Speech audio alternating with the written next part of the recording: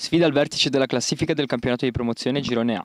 Al De Vincenzi di Pietra Ligure si affrontano il Pietra, che dopo il pareggio a reti bianche contro il Borzoli vuole tornare al successo, e al Bissola, prima della classe ancora a punteggio pieno, guidata dai propri bomber Alessi e Di Pietro. A sei minuti dal fischio d'inizio la partita si infiamma già. Sul tiro di Alessi, Cocito ribatte con un braccio e l'arbitro Restaldo di Vrea fischia l'estrema punizione. Dal dischetto si presenta il solito Alessi che con freddezza spiazza il numero uno di casa Ceccarini, portando avanti l'Albissola e siglando il settimo sigillo personale in questo campionato. La reazione del Pietra arriva solo tre minuti dopo.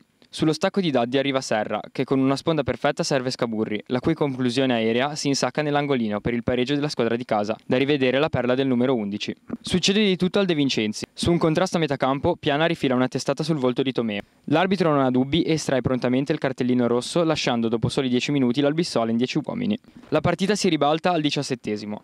Sul cross di Di Lorenzo si distende con i pugni Vallarino, ma sulla sua respinta si avventa Scaburri che con la porta sguarnita insacca senza troppi problemi per il 2-1 del Pietraligure e per la doppietta personale. Ma per questa prima frazione le emozioni non sono ancora finite. L'Albissola non molla e prova ad agguantare il pareggio. Da una splendida giocata di Alessi parte l'incursione di Paini che riesce a servire Di Pietro in profondità. Sul tiro dello stesso numero 9 vola Ceccarini e con una grande parata salva il risultato.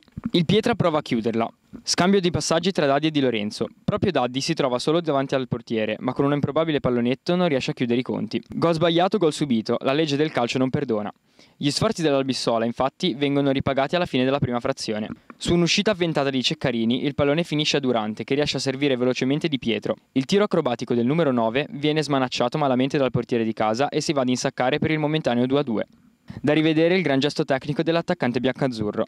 Passiamo alla ripresa con il montaggio e le immagini di Luigi Pittatore. All'inizio della seconda frazione l'Albissola con forza ed orgoglio passa addirittura in vantaggio. Il cross di Durante viene liberato male dalla difesa di casa. Il pallone arriva allora sui piedi di Di Pietro, che trova pronto sul proprio cross il bomber Alessi, che batte nuovamente Ceccarini e riporta avanti i suoi. Grande tempismo per l'incursione del numero 10 ospite. Tre minuti dopo si ristabilisce la parità numerica. Alberti colpisce con una gomitata sul volto Ghigliazza. L'arbitro Restaldo estrae nuovamente il rosso, mandando Alberti sotto la doccia.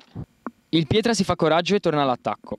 Il calcio d'angolo battuto da Gambino viene respinto dal numero 1 ospite. Il pallone termina al limite dell'area dove Scaburri è pronto a concludere. Dal suo piede parte un vero e proprio proiettile che colpisce in pieno il palo.